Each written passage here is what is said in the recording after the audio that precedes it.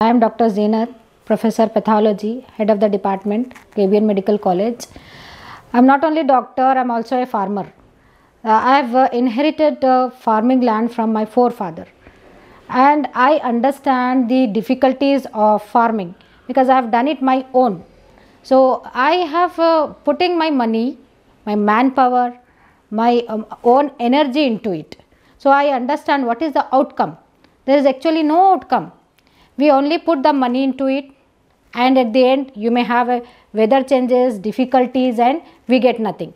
Then with the hope of getting it again we put lot of money into it, lot of ma- manpower into it and finally some days you get some money out of it. But it is not easy.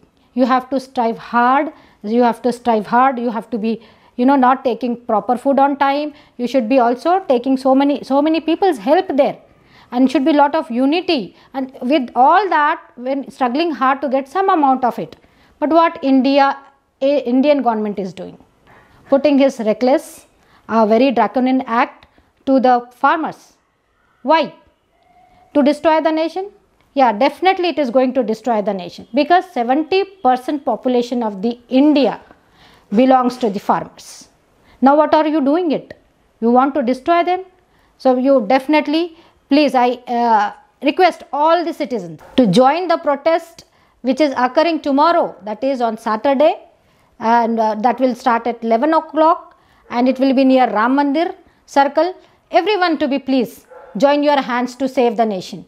This is in order to save the nation.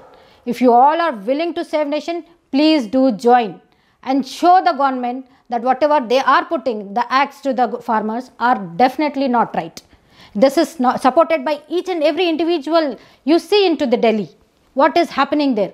We all have to be together now again.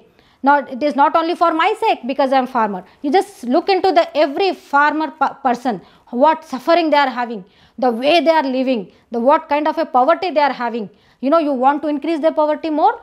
You please join your hands just do not see look into the uh, poor person and donate few uh, money but instead come and join and support them. This is not only for them this is the future of your kids also.